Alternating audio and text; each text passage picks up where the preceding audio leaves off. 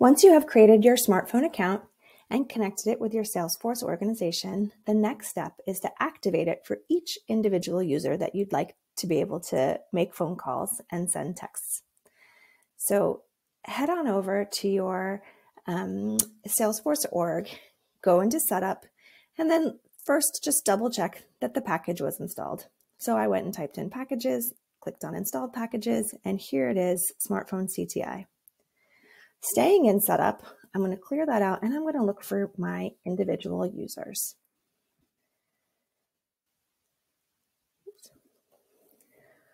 Once I see my list of users, I'm going to select a user that I'd like to activate the CTI for. I'm going to click edit. I'm going to head on down to the call center and you click on this button and it's going to show you all of the options that you have for um, for CTI dialers. Now, at your organization level, you can have as many as you want, but each user can only be assigned one at a time.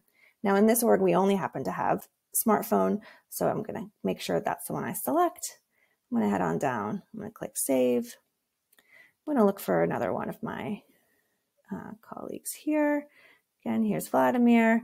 I'm going to click on this call center button. I'm going to select the smrtPhone CTI, and then I'm going to go ahead and click save. So now that has been activated inside of the Salesforce organization. But I need to go ahead and invite them into my account here. So you're going to come into the admin panel. You're going to click on users, the very top submenu, and this is the page you're going to see. In the corner here, it's a button for invite user. Now there's two ways you can invite a user into your smrtPhone account.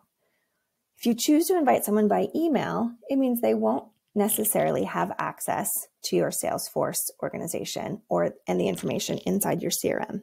They can still make calls, they can still send texts, they'll have their own inbox and voicemail, but they don't have to have access to the sensitive information that might be in your CRM. This is a popular choice for companies that use VAs or who have part time employees or just have a structure where they don't want everyone to have access to all of the data. The other option is, though, because we have a direct connection with Salesforce, is that you can um, pull somebody in exactly by Salesforce. And you click on that, and it's going to show you the list of all of the users that are in here. So I'm going to go ahead and click on Vladimir, who I just invited.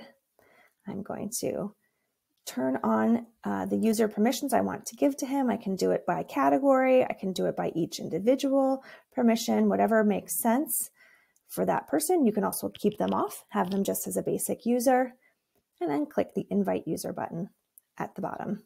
Oh, well, I'd already invited him, so just asking me to resend the invitation.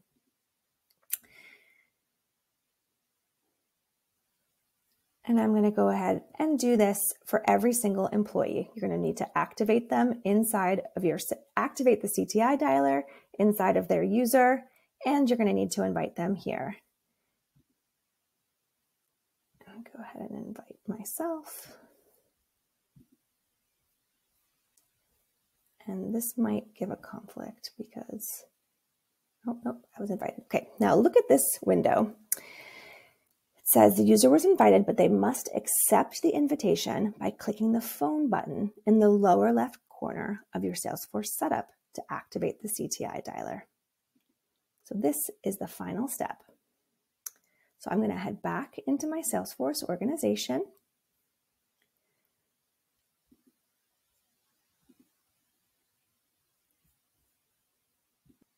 I had to move these uh, controls out of the way, but you can see that the smrtPhone CTI dialer now exists in the bottom left corner here.